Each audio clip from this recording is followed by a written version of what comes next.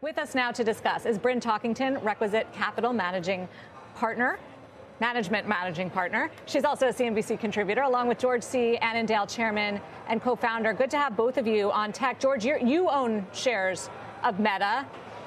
The bar has been set high by, by both Alphabet and the stock performance so far this year. What do you expect?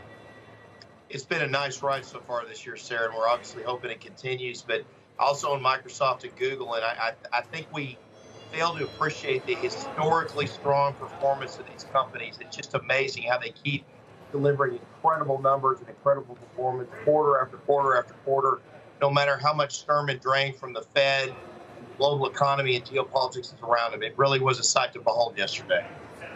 So, are you saying that the read through from Google specifically? Because for Meta, it's all about advertising growth, right? And potentially more cost cutting. Meta has been a, a, really fun company to hold the last six to seven months because it's just been one elevator ride straight up.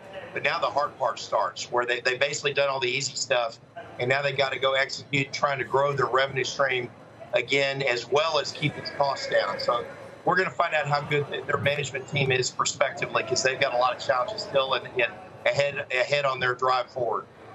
I feel like OPEX is going to be a very important measurement in this report. Bryn, you're the, the happy shareholder of Microsoft today. Yes. Any read through there to broader tech?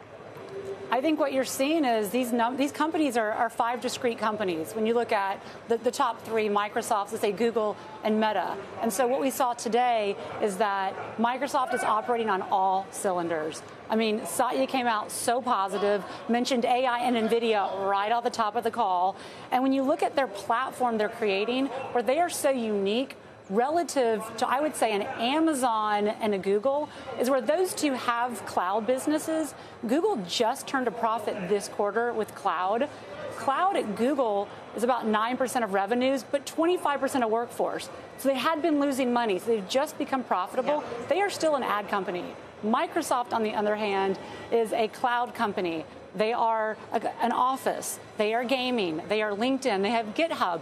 They have security. And, and so, they're AI. And they're AI. And they talked about embedding AI throughout their platform already. And so to me, this was a watershed moment for Microsoft.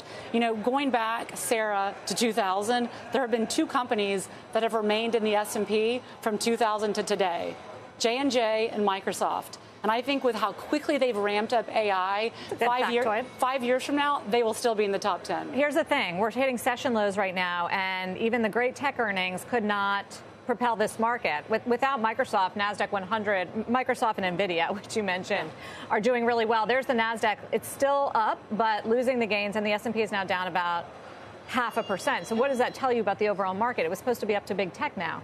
Well, it tells me we're worried about First Republic. And so the, the irony there is the FDIC and the Treasury and Fed decided SVB was systemic, and so they saved all the shareholders. The reality, though, not shareholders. I mean, depositors. depositors. Depo- yeah, definitely. Sorry, depositors. The reality is, over the last 20 years, over 400 banks have gone under, and those depositors only got 70 to 80 percent back. So I think that this is about sentiment within within First Republic. I think they're collateral damage. I don't see that they actually did anything wrong.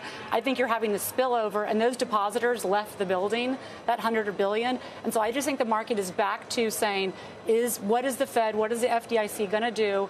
First Republic is just going to be a weakness and, a, and a, an elephant on the stomach of the market until this gets resolved.